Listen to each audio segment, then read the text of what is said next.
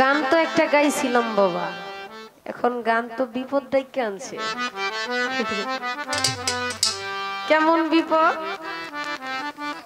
কয়, আমরা কিন্তু মিল্লা গান গাইতাছি না, আল্লাহর কসম।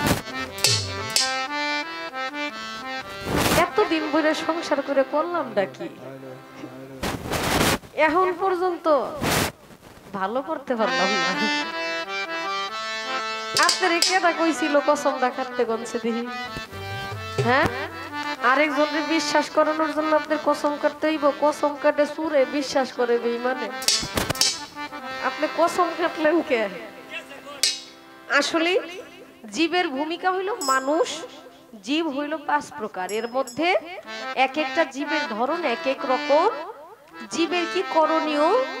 জীবের এই এই করণীয়, এই বিষয়গুলো আলোচনা করার জন্য আমাকে বলা হয়েছে প্রকৃত পক্ষে যে সঠিক জীব, সেটা কিন্তু আমি হইতে পারি নাই। পরম হইল স্রষ্টা, যে বিষয়বস্তু, আসলে পরম তো সবকিছু সৃষ্টি করছে, সেই বিষয়ে আলোচনা করা। আসলে পরমের অভিনয় নিয়ে একটা মানুষ কখনো অভিনয় করতে পারে না, কিন্তু আমাদের দেওয়া হয় কি করব আমরা? এটা যেহেতু পরম যিনি স্রষ্টা, তার তো কোনো ভুল হইতে পারে না। মানুষের তো অসংখ্য ভুল। মানুষ কি আল্লাহর অভিনয় করতে পারে, কন্ত? আমরা কেমন মানুষ? যায় না মাঝে বৈশা সিগারেট খাই। হ্যাঁ? তাই না? আচ্ছা বলব না, এগুলো বলা যাবে না। বললে ক্ষতি আছে। আমি গান করেছিলাম, আমি যদি হারাম, হালাল সবই খাই আমার মাঝে তুমি থাকলে তুমিও তো খাও। কয় না, আমি খাই না। আমি খাই না। আসলে এই প্রশ্নের জবাব আমি নিজেও পাই না। কারণ আমার মধ্যে তুমি থাকো, বলছো। সকল মানুষের মধ্যেই স্রষ্টার বসবাস। আচ্ছা বলেন তো, মকরুম আবেদ, সত্তর হাজার ফেরেস্তার সর্দার হইয়া, শিক্ষক হইয়া, সে আদমকে সেজদা করল না? ওরে কেডা শিখাই দিছিল, তুই সেজদা করিস না? হ্যাঁ? কে শিখাই দিল?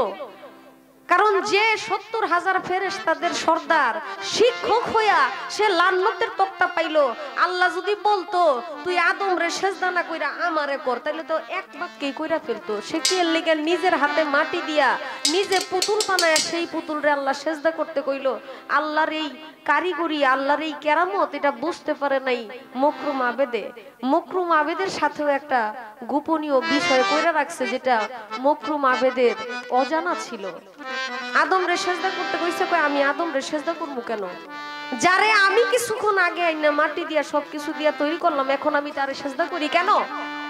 আল্লাহ তারে সেজদা না করতে কই তো আল্লাহ বলতে পারতো, তুই আমারে সেজদা কর। কইতে পারতো না?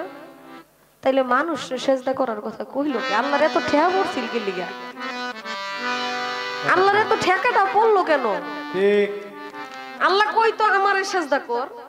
একটা পুতুল বানায় কই পুতুলটারে সেজদা করবার? এখন যে ব্যক্তি যে ফেরেস্তা সত্তর হাজার ফেরেস্তাদের সর্দার উনি কিন্তু মকরুম আমাদের ফেরেস্তা না উনি জিনদের একটা সন্তান ছিল।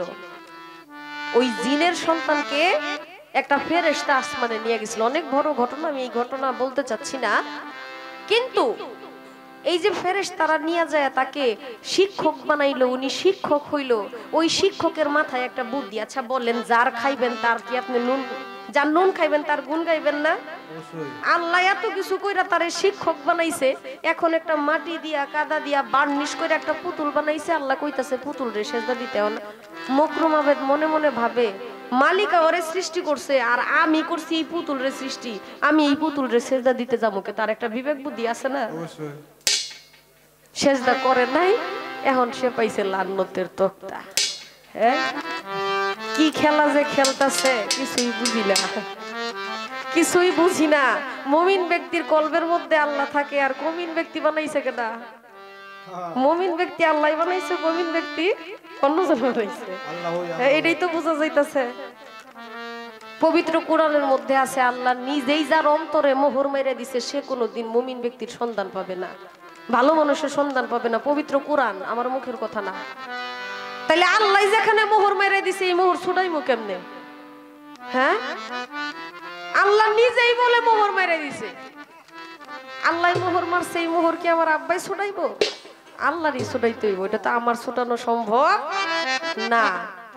এই মীমাংসা একমাত্র আল্লাহ আইসা দিতে পারবে এছাড়া সম্ভব না। মানুষ দিব তো দূরের কথা। এইগুলা প্রশ্নের জবাব, এগুলা কথা কইলে আল্লাহর সাথে যদি কথাবার্তা বান্দা শুরু করে, আল্লাহ যদি জমিনে নাই মাসে আল্লাহর সাথে বিশাল বুঝ পরামর্শ হইব, ঝামেলা হইব। এর জন্য আল্লাহ নিরাকার। উনি নিরাকার, চক্ষু নাই, কর্ণ নাই, কিছু নাই, আরেকজনের সম্পদ লয় খালি গলি। বুঝছ? আরেকজনের পিছনে পিস্তল রাইখা খুব ভালো শিকারি করতেছে। আবেদ আলী সাহেবের একটা গান মনে হইল আমার, জীবের ভূমিকায়।